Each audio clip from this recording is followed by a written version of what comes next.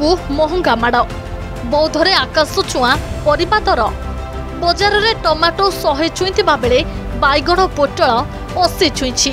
ଆଉ ଅନ୍ୟାନ୍ୟ ପରିବା କଥା ନ କହିବା ଭଲ। ପରିବା ଦର ଆକାଶ ଛୁଆଁ ହୋଇଥିବାରୁ ଲୋକଙ୍କ ପକେଟରେ ବେଶ୍ ପ୍ରଭାବ ପକାଇଛି। ଗରିବଙ୍କ ହାଣ୍ଡିଶାଳରୁ ଉଭାନ ହେବାକୁ ବସିଲାଣି ପରିବା। କିଲୋଟେ ବଦଳରେ ପାଏ କିଣି ଚାଲି ଯାଉଛନ୍ତି ଲୋକେ।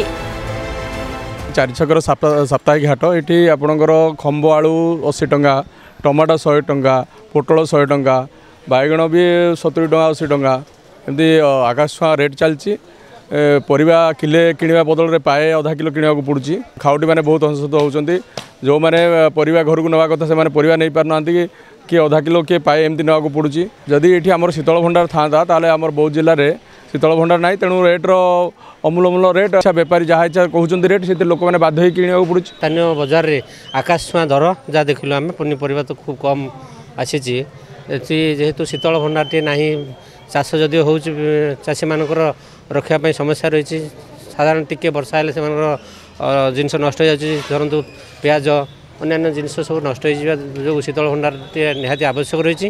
ଏ ଦିଗରେ ଯଦି କିଛି ପଦକ୍ଷେପ ନିଆଯାନ୍ତା તે ଅଞ୍ଚଳବାସୀ ଉପକୃତ ହୁଅନ୍ତେ। ବୌଦ୍ଧ ଜିଲ୍ଲା ଚାରିଛକ ଅଞ୍ଚଳରୁ ଉତ୍ପାଦିତ ପନିପରିବା ସାରା ପଶ୍ଚିମ ଓଡ଼ିଶାର ଲୋକଙ୍କ ଚାହିଦାକୁ କିଛି ପରିମାଣରେ ପୂରଣ କରିଥାଏ। ହେଲେ ଋତୁକାଳୀନ ଚାଷ ସମୟରେ ଅଭାବୀ ବିକ୍ରି ଯୋଗୁଁ ଭାଙ୍ଗି ଯାଇଛି ଚାଷୀଙ୍କ ମେରୁଦଣ୍ଡ। ଉତ୍ପାଦିତ ଫସଲ ସଂରକ୍ଷଣ ପାଇଁ ଜିଲ୍ଲାରେ ନାହିଁ ଶୀତଳ ଭଣ୍ଡାରର ବ୍ୟବସ୍ଥା। ଯେଉଁଥିପାଇଁ ଉତ୍ପାଦନ ସମୟରେ କ୍ଷତି ସହୁଛି ଚାଷୀ ଓ ଅନ୍ୟ ସମୟରେ ଖାଉଟିଙ୍କୁ ହେଉଛି ମହଙ୍ଗା ମାଡ଼।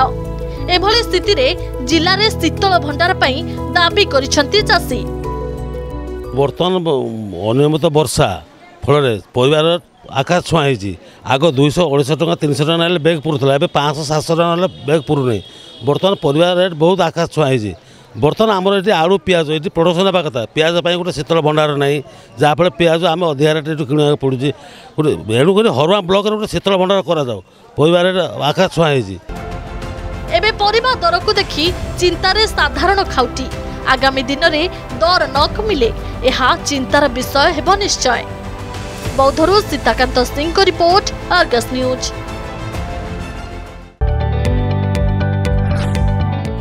যদি आपण আমার ভিডিওটি ভালো লাগিলা लगा আমার आम লাইক শেয়ার ও সাবস্ক্রাইব सब्सक्राइब জমা বি जमा भी